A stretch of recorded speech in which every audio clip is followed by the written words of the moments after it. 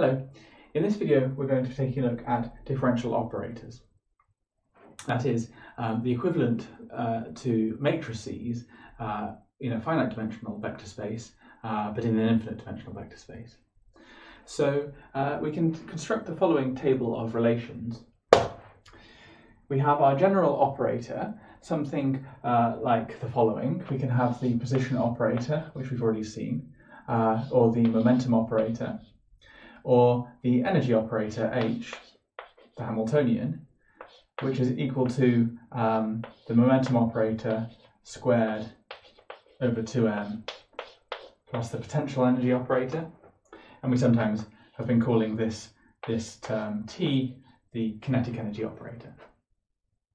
Uh, and written out in terms of when we were doing Schrodinger wave mechanics, uh, we're writing things in terms of functions, uh, which are then infinite dimensional vectors in our complex Hilbert spaces. Uh, and so we have the following forms. So uh, writing these out as represented in the position basis, the x operator uh, is just simply the position x, the real number. The momentum operator, on the other hand, is a bit more interesting. Uh, it takes the form minus i h bar d by dx, as we've seen a couple of times now. Uh, this is in one dimension. And then the Hamiltonian takes the following form. It's p squared over 2m. p is defined here, and so it must be minus h bar squared over 2m d by dx squared. Uh, and the um, potential operator in the position basis is just the potential as a function of x. Out of interest, although it won't be a key focus in this course, we could also write things in the uh, momentum basis. So first, the momentum operator, in this case, takes the trivial form p, just the real number, much as x did in the uh, x basis. Uh, the position operator now takes the form minus i h bar d by dp, and the Hamiltonian now must take the form p squared over 2m, where p is just the real number p, uh, and v now has to be a function of, excuse me, uh, v, the potential, is now a function of minus i h bar d by dp, where this is now a differential operator acting on functions of p and is defined by its Taylor series. So we've seen a little bit already of expectation values of operators. in particular, we know that they take the following form.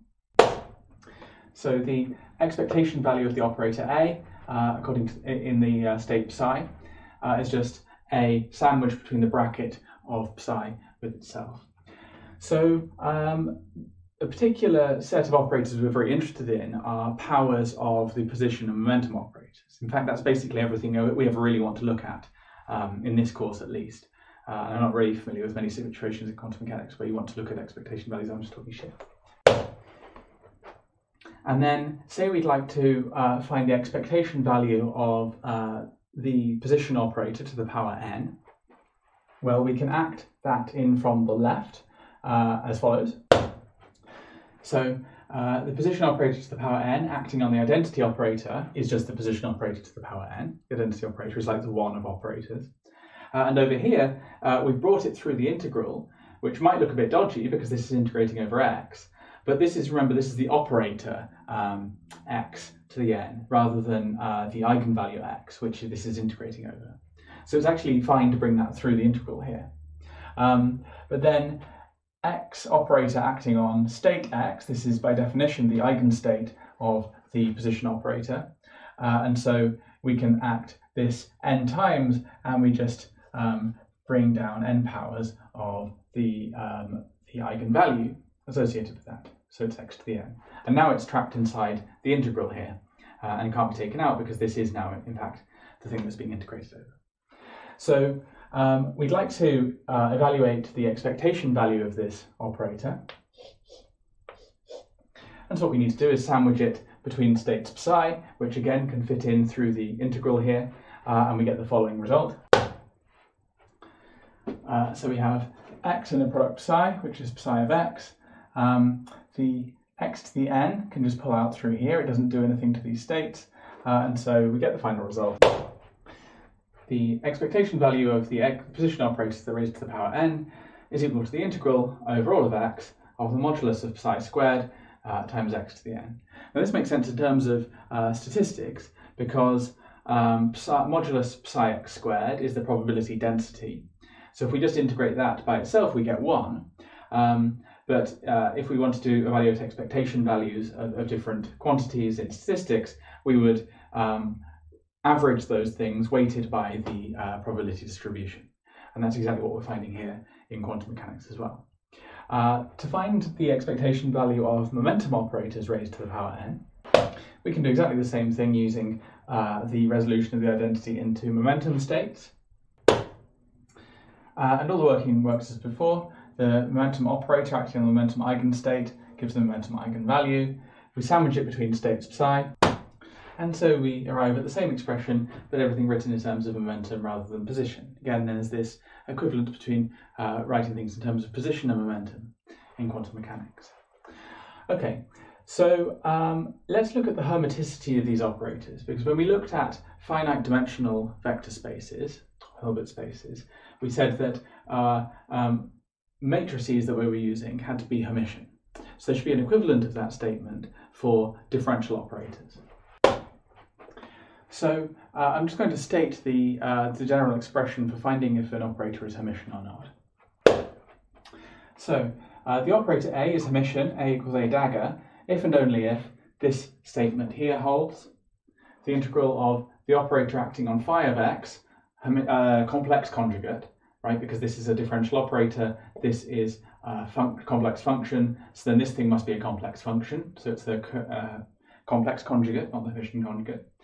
Um, multiplying psi of x integrated over all of x is equal to the complex conjugate of phi uh, of x multiplying the operator acting on psi of x integrated over x. And that has to hold true for all arbitrary phi of x and psi of x complex functions. Okay, so it's best to just take it as a definition. You can derive it, and it's not too complicated, uh, but it's uh, beyond the scope of this course. So uh, let's take a look at a couple of important cases. So the first uh, Hermitian operator, or first operator we'd like to confirm as Hermitian, is the position operator a is equal to x.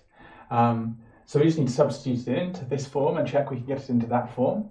Uh, and that's quite trivial in this case. So the left-hand side gives this, um, but the position operator in the position basis is just the position. Um, this is written, by the way, in the position basis. Of course, we could have written it in the momentum basis if we wanted to. Um, so, uh, but the position is a real number, we know, and so we can bring down the complex conjugate to here, doesn't affect x, and we can happily bring the x over to here.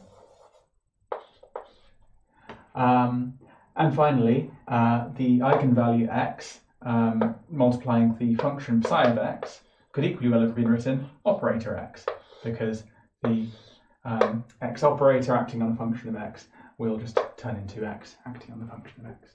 And so we've proven the right hand side. And so uh, the operator X is Hermitian. And that's good news because uh, that means that the eigenstates of this operator are real, and those are, of course, our positions. We'd like our positions uh, to be measurable, and we'd like them to be real. So a slightly more tricky case is uh, the momentum operator.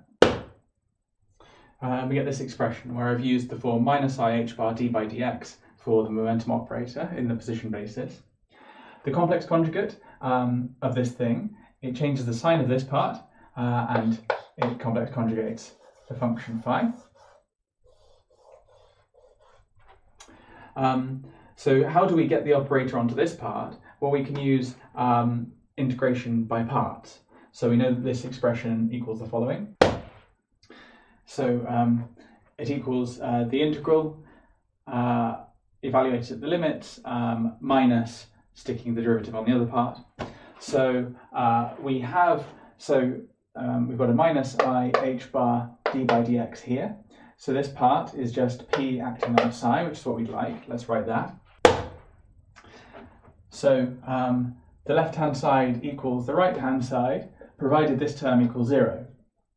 But this must equal zero because we're evaluating phi star of x and psi of x, um, but these are functions which live in our infinite dimensional complex Hilbert space. And remember, it's a definition of the Hilbert space that the states be square normalizable. So uh, if we take the modulus square of any state and evaluate it at plus or minus infinity, um, it must go to zero uh, because um, uh, otherwise we wouldn't be able to carry out a normalization condition that the integral of modulus psi squared um, over uh, minus infinity to infinity is equal to 1.